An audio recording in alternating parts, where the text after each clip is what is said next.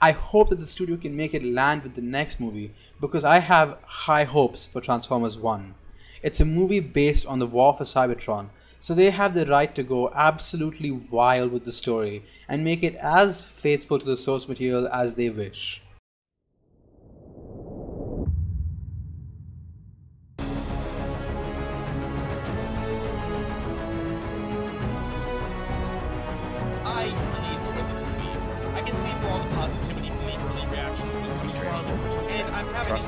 Because it lived up to the hype. I actually liked it a lot.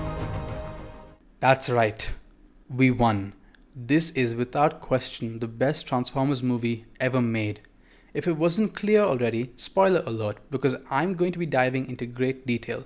There's a lot to cover, so let's roll that intro.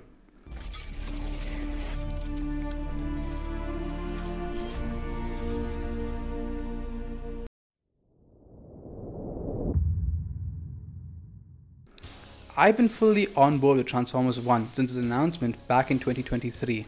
Like many, I was a little uncertain when I heard Chris Hemsworth would voice Optimus Prime, but knowing that he'd be voicing the younger Orion Pax later on put my worries to rest. The voice cast overall wasn't a major concern for me as long as they fit the characters well. And they absolutely did. When the first trailer dropped in April, I was beyond thrilled. The animation, stunning. The voice acting, even better than I had expected. And the Cybertronian landscape was so detailed and immersive. Even though some fans were hesitant at first, fearing that it might be another mediocre addition to the franchise, I had faith. And now, after seeing the glowing reviews and watching the movie for myself, I feel completely vindicated. Before Transformers 1, my favorite Transformers movie was Transformers Prime Beast Hunters Predacons Rising, since it was the first movie to take place entirely on Cybertron. So when I heard Transformers 1 would not only take place on Cybertron, but during the Golden Age no less, I had no doubt it would be amazing. What are you guys' thoughts? I think that everything about it was amazing. It's it looks amazing. From the start, I was convinced this would be the best Transformers movie ever made.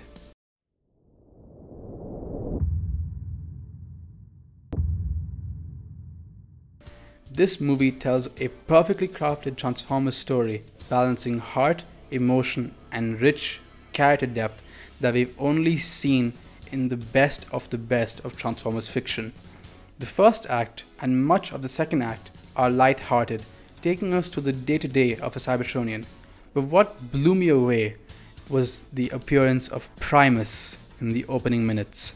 It was done with such respect to the original lore. They adapted the original story of Cybertron almost exactly, and for longtime fans like me, it was an absolute treat. Plus, familiar characters are sprinkled throughout the background that just make this a visual meal.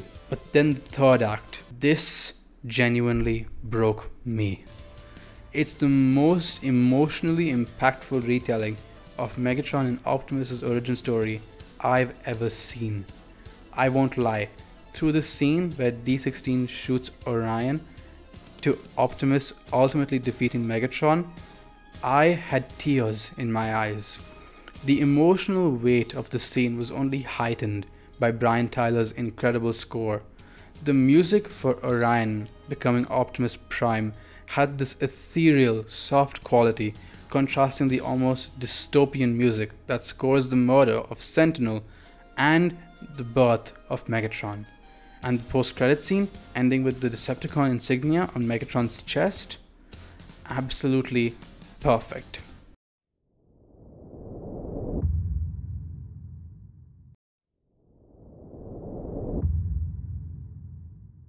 I laughed loudest at Orion. The way he behaves in the film was just so incredibly funny, especially in scenes like when Darkwing was chasing him and he falls through the roof. What's his first instinct? Kleptomania. Keegan Michael Key's portrayal was spot on. His Bumblebee was funny but didn't cross the line into being overly annoying. He was truly badassatron.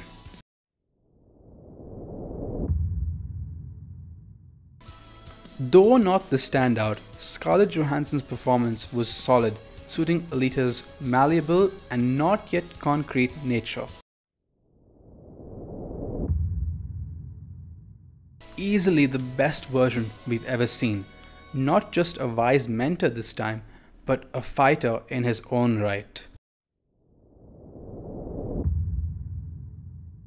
Pure, unadulterated evil. His actions bordered on the psychotic, and it made his eventual demise feel oddly enough justified. This movie beautifully documents his descent into madness and eventual betrayal, and yet you still feel for him. You understand why he is pained. He was without doubt the best written character. Now let's dive into the most important characters Optimus and Megatron. In a word, brilliant. The organic build-up of their rift was nothing short of brilliant and genius as they transformed both literally and figuratively into Optimus and Megatron. Their voices started to resemble the legendary Peter Cullen and Frank Welker. It was a subtle mental shift that made their journey even more compelling. I will never forget the moment where Megatron says his name for the first time. All I could think about was Frank Welker's line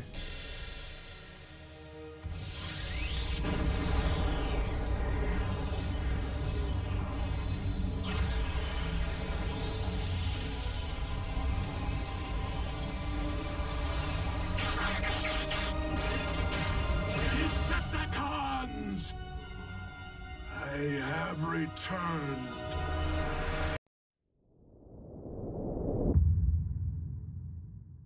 The score was on another level.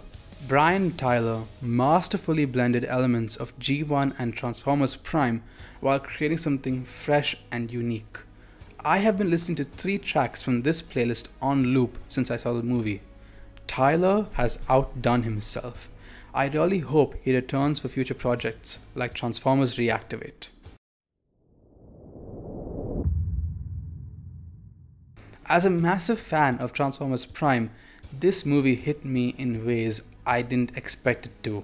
From start to finish, I was in awe, I was speechless. I've always wanted a deeper exploration of Megatron and Optimus's origins, more than what we got in the Aligned continuity, anyway. While the IDW comics go into great detail, I'd been craving another CG animated Transformers movie like Transformers Prime Beast Hunters Predacons Rising. It's been so long since we've had one like that.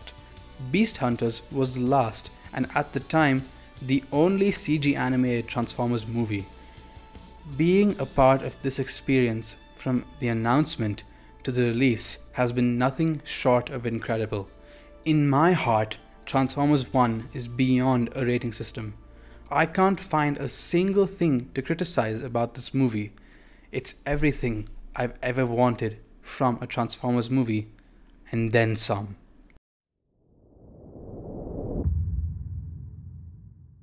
And there you have it. Transformers 1 is without a doubt the best Transformers movie ever made. Following its development has been such a ride from the announcement to release. Sure, I came up with some wild theories along the way, most of them nonsense, but I did call a few things correctly.